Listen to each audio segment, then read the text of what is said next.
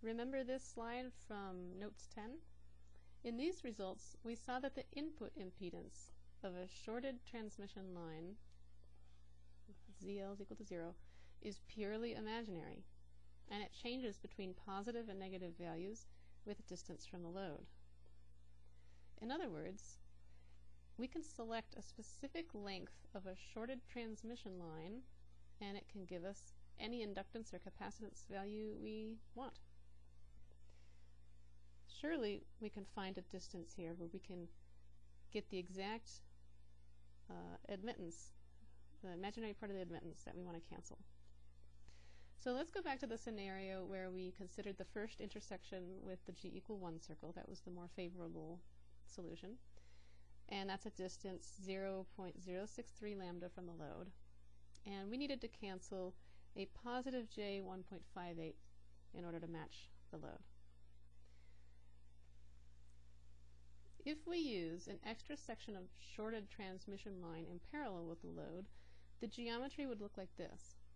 We need to figure out what length, L, of transmission line we need in order to cancel this J 1.58. So in other, other words, we can call this a stub. So we want Y stub as you look this direction down the stub, we want that to equal minus J 1.58. So if you put this and add it to the positive J 1.58 we have from looking down this way, they will cancel.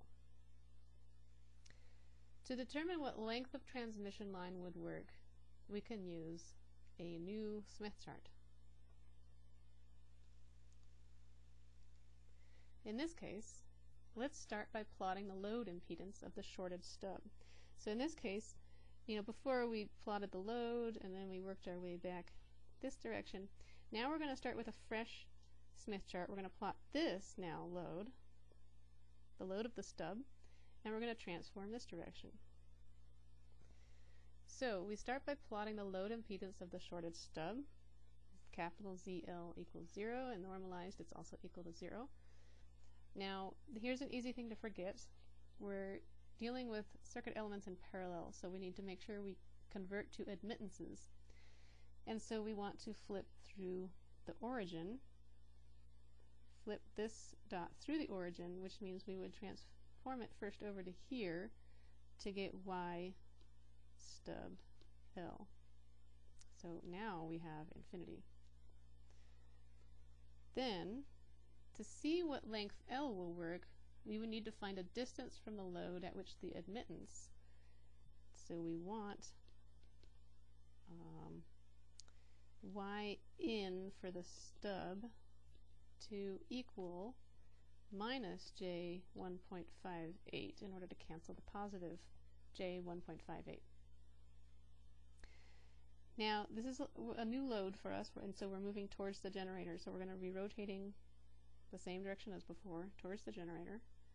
And as we move away from the shorted end of the stub, the load admittance dot rotates in the clockwise direction along a constant radius from the center. So is there any point on the Smith chart where we can stop and we can say this length of the stub would work so that we can achieve this value for our stub?